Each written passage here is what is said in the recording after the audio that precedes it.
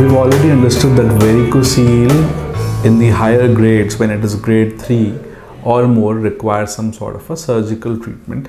And usually, the preferred surgical treatment across the globe is something that we call as microscopic subinguinal varicocelectomy or varicocele repair.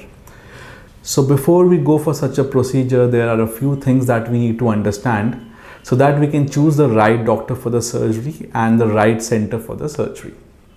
So as we know in varicocele, the problem is with the veins of the testis which carry the blood back from the testis to the heart. So the walls of these veins are usually defective. So it is important that these veins are identified and then we basically ligate these veins under some sort of a magnification which is done in the microscope. We also know that apart from the veins, there are few other structures which are there present along with the veins in the cord and we have to prevent damage to these structures.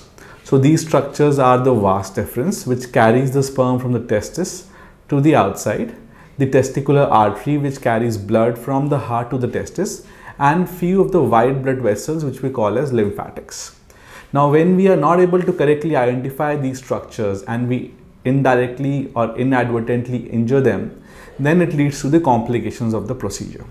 So the first and foremost prerequisite before we go for the right center is that the surgeon and the center, they should have a microscope. So the microscope allows a magnification of about 25 times and that makes it possible for the surgeon to see whether he's ligating or he's cutting the right vein and it's not an artery and it's not a vas or a lymphatic which is the white blood vessel channel. Also at the same time it helps identify the smaller nerves so that there is no problem in the post-op period of a testicular pain. If we uh, by any chance cut the lymphatics then what happens is that the lymph starts to collect in the scrotum and we end up with the problem called hydrocele. Similarly if somebody cuts the artery then the entire testis can be destroyed and leads to a condition called testicular atrophy. Also, if we miss a few veins, considering them as lymphatics or the arteries, then the chance of recurrence of the varicocele. So we use a special technique which we call as the microvascular Doppler.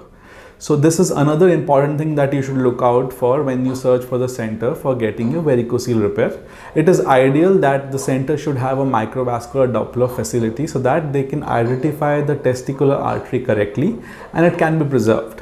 The last thing that you should look for in a center that is performing your varicocele repair is that the surgeon should be experienced. He should have done a fair number of cases and he should have all these latest technological armamentarium like the microscope, the vascular Doppler and the microsurgical instruments available with him so that only the right veins are cut and the testicular artery and the lymphatics or the nerves and the main passage which carries the sperm called the vas deferens they are prevented from any damage.